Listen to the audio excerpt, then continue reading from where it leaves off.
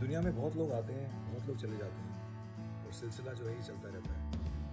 पर आज कुछ एक अजीब सा एक एक पेन है, एक, मायूसी है, क्योंकि इरफान भाई आई थिंक उनकी एक ऐसा एक, उनकी, उन्होंने एक ऐसा एक और बनाया अपनी फ़िल्मों और अपने काम के थ्रू कि हम लोग को पता ही नहीं चला कि वो कब हमारे इतने करीब हो गए। और बहुत ही ज़्यादा दुख ये सोच के होता है कि जब हमारा ये हाल है तो उनकी फैमिली पे क्या बीत रही होगी? वो भी इस समय पे जब सब अपने घरों में बंद हैं, उनसे जो उनके चाहने वाले, उनके बहुत क्लोज फैमिली वाले हैं, वो भी उन तक पहुँच नहीं पाए होंगे।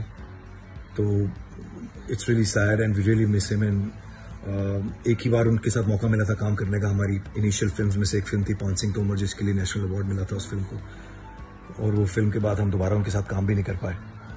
बट उनको खूब इन्जॉय किया, उनकी फ़िल्मों को इन्जॉय किया और मुझे ये भी पता है, जो जहाँ भी होंगे स्माइल कर रहे होंगे, उनकी वो डिम्पल वाली स्माइल आज भी नज़र आ रही होगी, जहाँ पे भी होंगे। सो इरफान भाई will all miss you you are a great person and you are a great artist कहने की ज़रूरत ही नहीं है। भगवान आपकी फैमिली को स्ट्रेंथ दे और आप जहाँ भी हों, खुश रहें और आपकी वो प्यारी सी जो डिम्पल वाली जो स्माइल है, वो बरकरार रहे। Rest in peace